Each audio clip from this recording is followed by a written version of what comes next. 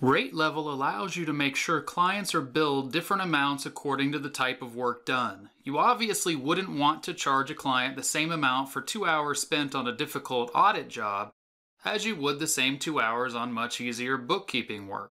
Likewise, specific employees who have much more experience may charge more for that audit job than one of your employees who's just signed on with your firm. And since TPS is fully capable of pulling the rates you've established into the time entry screen when you're entering time, we want to make sure you're using it correctly and getting the most out of what TPS has to offer. For this reason, you see rates in two different parts of TPS. Here under work codes is where you decide which rate will be assigned to each work code or task. In the employee properties, under the rates tab is where you will set how much an employee charges for each rate. You can see that Donna doesn't have anything set for level 1, which means any level 1 work will pull this standard rate on the time entry screen. Per hour, since nothing else has been specified. But you can see here that a level 2 would be $120 per hour for Donna, and level 3 would be $200 per hour for Donna. So let's say that you decide that payroll will be a level 2 rate level and corporate tax prep will be at a level 3 rate level. As soon as you set that here, it ties in with the time entry screen.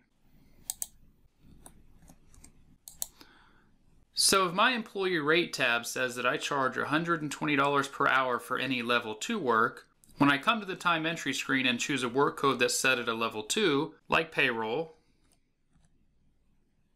and perform one hour of work, you see that it automatically pulls that $120 that I had set in Donna's Employee Rates tab. The system knows to put in that $120 for that hour of work. Once that's whipped, it'd be available to be billed to the client. Now, if I change this work code to a level 3 work code, like the corporate tax prep, you can see that that $120 amount here changed automatically to 200 to match that level 3 work code because we had $200 set in Donna's level 3 rate on her employee rates tab. Now back on the work code screen, how you choose to set up your rates is entirely up to you. You might decide the easiest work will be a level 1 and the most difficult will be a level 20. Or you might do it the other way around and decide the difficult work will be a level 1 and the easiest a level 20. Down here is where you add, edit, or delete a rate level. Adding is easy. All you do is type the name of it and put in a description if you'd like. And then you can see they show up here.